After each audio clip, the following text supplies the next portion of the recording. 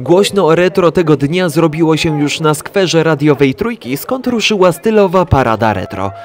Kilkudziesięciu uczestników, nie tylko ubranych w stroje, ale i wyposażonych w sprzęt zamieszłych czasów, przeszło przez centrum szklarskiej aż pod dolną stację wyciągu. Hasłem przewodnim było precz z plastikiem. Mimo to niektórzy odważyli się przyjść z bardziej współczesnym sprzętem narciarskim, jednak tylko w celach edukacyjnych. Przywiozłem sprzęt y, z obecnych czasów, akurat skokowy i chciałem porównać właśnie, żeby pokazać tą rewolucję w narciarstwie od tamtych lat, kiedy pierwsze powstały narty do dzisiejszych. To jest właśnie fascynujące. Zupełnie inaczej się jeździ na tego typu nartach, aniżeli dzisiaj współcześnie. A więc tutaj but czy w ogóle stopa no nie jest y, w pełni usztywniona, a więc y, na, na pewno dobrze się jeździ, kiedy są warunki miękkie, jest dużo świeżego śniegu. W tym roku o warunki na stoku nie trzeba było się martwić. Chłodnej i śnieżnej szklarskiej panowała gorąca atmosfera. Niektórym retro uderzyło do głowy do tego stopnia, że nie przeszkadzały nawet ograniczenia ruchowe. Mimo wszystko jest Pan tutaj obecny, Tak, tak bardzo jest Pan przywiązany do tego retro? Pozytywna grupa jest taka retro, że to już nie da się inaczej. Raz się spróbuje, Tak. będzie się przyjeżdżać co roku. Tak, mimo kurczę nogi złamanej. Ja się urodziłem tutaj, mieszkałem do 25 roku życia. Potem wyjechałem, no bo człowiek się ożenił, nie? No ale cały czas mnie tu ciągnie. I jak coś nowego dzieje się szklanskie, to zawsze jestem.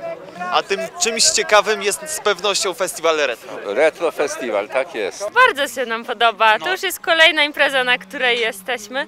W sumie na rowerach retro też byliśmy Tak, w tak, lipcu, to już no i teraz latem. narty. No ale to jest bardzo ciekawa inicjatywa Tu w ogóle i warto zupełnie coś kultywować innego, właśnie prawda? taką tradycję. Polecacie? Jak Jak najbardziej. najbardziej, każdemu. Ski Retro Festival, jak się okazuje, ma bardzo silne fundamenty historyczne w szklarskiej porębie.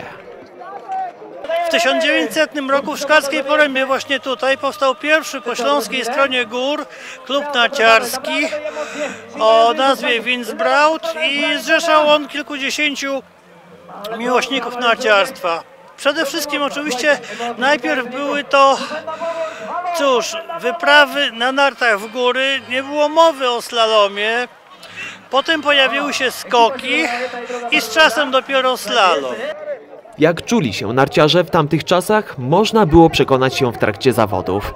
Oczywiście, najpierw odbyła się rozgrzewka, a dopiero później przyszedł czas na sportowe emocje. W skokach, slalomie i zjeździe na starych nartach.